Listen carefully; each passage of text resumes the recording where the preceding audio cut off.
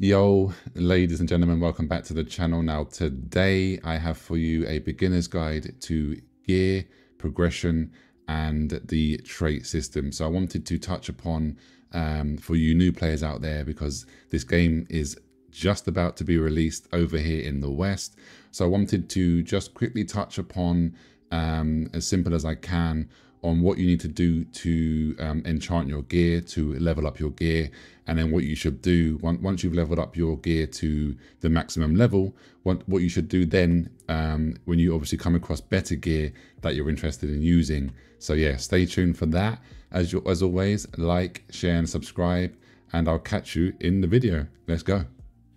Okay, so in today's video, we're going to be talking about gear progression, like I said in the intro, and then we're going to also touch upon traits as well. So what you need to do is you obviously need to, as you're going through the game, you're going to be getting gear, you're going to be having green gear, then blue gear, and then epic, you know, purple gear. So if I go to the uh, inventory, what I did do was I went ahead and crafted this green cloak just for the purpose of this video to show you. Um, and I'll also mention, so what happens is when you craft a item, you you get a randomly RNG assigned trait. So you can see I was given mana regen, which isn't the best trait at all, but what I wanted to touch upon with traits briefly was the traits when you're like leveling up uh, are not that important unless you're a PvP PvP player. Um, you want to then you're going to want to obviously focus on your traits, but don't worry about it too much whilst you're leveling. The reason for that is because you're going to be changing your gear constantly throughout the leveling. So obviously when you hit level 50 and you start doing the level 50 dungeons and you start getting the better blue items and the better epic purple items, that is when you're going to want to obviously start to trait the said items and go for you know evasion or endurance for defense. And obviously you're going to go for stuff like heavy attack chance hit and critical hit on your weapons. Those are the important traits but i'll go back to that in a minute. So to level your uh, gear you're going to want to go to the equipment chanting menu enchanting menu. Now the game does touch upon this as you're leveling. It does briefly introduce you to to this um, to like as a mini little guide it gives you. But I just wanted to showcase this to you just to make it a little bit easier for you to understand. Now you're going to see this menu here, level up, transfer and trait. So what we want to do for now is level up. So you go to here, you click the said item you're wishing to level up, you're going to need these quality armor growth stones. Now, obviously, each one corresponds for each um, piece of uh, equipment. So this is a armor piece. So you're going to need obviously the armor growth stone. Then you have obviously a weapon growth stone and a uh, jewelry growth stone. Now you're going to be getting these throughout the game, doing the main story quest, going into the um, solo dungeon here, Tidal's Tower. You get loads of these doing this. As you can see, you get green ones and then you go further down. They give you blue ones and then you go further down and then you get obviously purple ones. Now you can also craft these, which I'll show you as well. So if you go to the armor crafter in any main main uh, town, you can see here, if you scroll down, you can, you've got the choice to make the blue growth stones, the purple growth stones, and also the green ones. Now they all need these materials. So you need green magic powder, you need the green version of the Stalon ore, and then you need the green version of the polished crystals. Then for the uh, blue version, it's literally the same thing. You need blue powder, blue Stalon ore, and blue polished crystals. Then again, purple, and so on and so forth. Purple powder, purple Stalon ore, purple Polish crystals.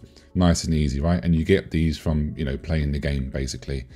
So let's go back to the, the menu, enchantment, level up. We click on it, and then all you need to do is you can just click level up. And as you can see, it's RNG based on how much percentage that you that you go up. Now, one thing to note, if you're coming from like BDO, Black Desert Online, None of these items will break, so you don't have to worry about that. You're not going to be panicking, oh, if I do this, it's going to fail and it's going to break. Um, no, none of that jazz. Do it again. So you can see this time I got a better one. Um, it does actually give you the percentage chance. So you've got 40% for common, 30% for intermediate, 20 for greater, and a 10% chance for special. Now a special will give you a lot more. Hopefully I'll be able to get that if I show you. Didn't get it on that occasion. So we're going to do another few more tries. Nope. Here we go, special. So you have to click the screen and hold it. And then as you can see, you get a much better increase in, in your uh, enchantment. So that is literally it. That's all you need to do, guys. You just do this until you level it up to max. So I will show you, I'll just level this up to max. You can also click this button, continue until next level. I personally don't do that, um, but it's up to you. I'll do it for the video. So you can see here, it just does it for you automatically. There you go. We'll get this to, to max level. So you can see it has taken quite a lot of uh, growth stones. So now level six, this is now at the maximum level. I can no longer obviously get, put this up, but what you then want to be doing is, I don't have a blue, a, blue, a blue cloak on me, unfortunately. So you would go to transfer and then you would see, you would, you would basically, you would equip the um, blue cloak, you would go to transfer and then you would see the green cloak here. And then all you would do is you would click on the green cloak and then it, what it does is it takes the a portion of the XP from the green cloak and it transfers it into the uh, the new blue one. So you want to always do that. You want to always maximize your your, your gear that you're wearing. So maximize your green, then you want to feed that into your blue, then you want to maximize your blue item, and then you want to feed that into your purple item. Um, otherwise, you're going to waste resources. So just remember that. Don't make that mistake of just rushing, you know, getting new gear and then just getting rid of your old gear. No, make sure you always feed it into the next one up. So, and that, that goes for everything. That goes for weapons and all armor pieces and also like jewelry pieces. You want to do the exact same thing.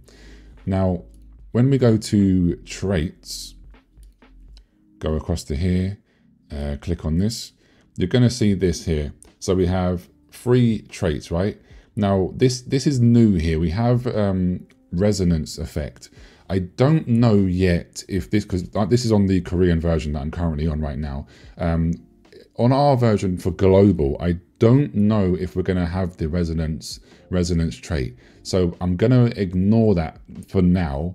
If we do get the resonance trait in our version, um, I can always do another quick short video to help you guys and girls. But basically, all you need to know TLDR for resonance is you need to have all of your normal traits maxed out. And then once you have your all your normal traits maxed out you then get a chance to roll for the resonance trait. That's it. It's pretty simple. But this whole trait system has gone through so many changes um, since the game has launched in Korea. I've lost count how many times they've changed it, but now you can actually choose, you can literally choose what trait you want. Whereas before, we had to literally just get lucky with RNG and then keep on farming the a duplicate item over and over again to hopefully get the trait that we wanted to then swap it to convert it to the trait we wanted. But then they realized, the developers realized, and obviously they listened to feedback and they understood that it was a, a bit of a, it was a pain in the ass basically. So they've given us the option to be able to choose what trait you want so you can see here, if I want to get rid of this trait, which I obviously wouldn't, but if I did, I can select it here. And as long as I have um, 100 trait unlock stones, and then I also have 25 trait conversion stones, I can then convert the trait that I don't want to the one that I do want. And then the same thing with this is if you wanted to do a RNG unlock, which I wouldn't, if I was you, I would wait till you got the guaranteed trait conversion. You just need hundred trait conversion stones, and then it will randomly unlock. You know, it's again, it's you're leaving it in the hands of RNG. So I would not do that if I was you. I would always go with the um, with this one here, with the guaranteed option. Yes, it needs more materials, but you can get this from just playing the game. So yeah, that is what I wanted to say about traits. It's actually very, very simple now. So for us in the West on our global release, it's going to be a lot easier to um, trait out your weapons and your gear to what you want. No longer, thank God, we don't have to worry about the complete RNG.